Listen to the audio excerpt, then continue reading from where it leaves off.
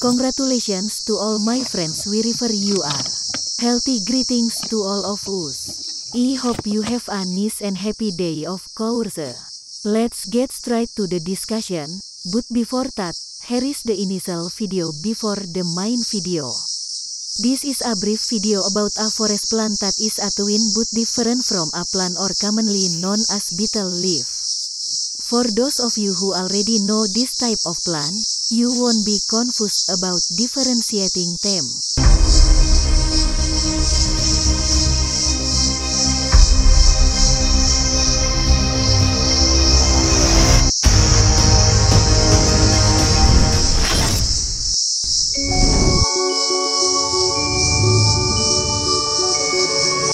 Hello guys, how are you all I hope you are always healthy. This time I will discuss a forest plant that is similar to fruit or grapes. You could say its name is forest grapes. Why do I say that because the fruit is very similar to grapes, but the color is different and it looks very attractive.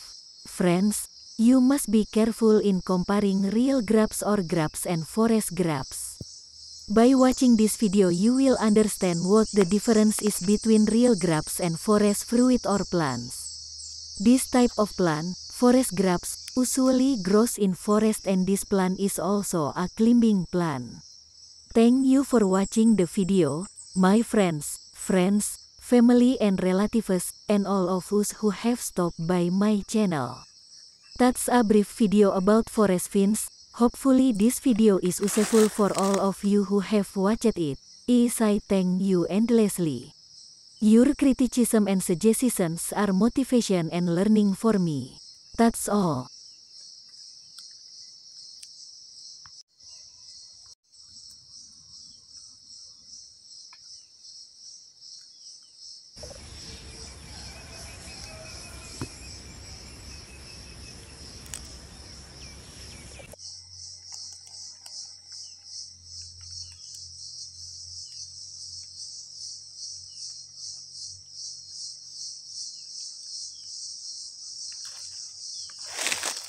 The stems and flowers are also very attractive.